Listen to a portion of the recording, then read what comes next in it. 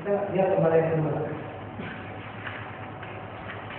Di dalam yang namanya seksi AR, seksi AR, itu kan kita tahu bahwa in Palestina itu adalah tiga, Karena kan ulang kali 14 lagi. Betul kan AR 3? Maka di eh, belakang tiga betul kan? 3 ya? Itu ada 3. 3 dengan jumlah sebelumnya adalah 2.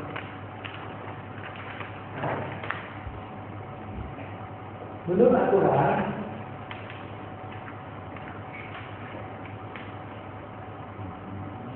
ya, bahwa yang namanya cara pembagian koreksinya itu terhadap masing-masing sudut -masing itu adalah seperti ini. Jumlah dari daripada ini seksi dibagi dengan jumlah sudut, jumlah koreksi dibagi dengan sudut, dikali dengan setengah. Kenapa delapan itu setengah? Karena dia dibaca adalah ini kan dua, delapan yang ini seksi ya. Hanya dia harus bagi setengah. Itu ketentuan. Kemudian kalau dia tujuh, itu kan di sini tujuh, itu hanya tiga per dua, ya tiga bagi dua dikali dengan satu langsung satu koma lima. Maka dari hasil pembulatan itu satu satu satu satu. Jumlahnya sampai dengan.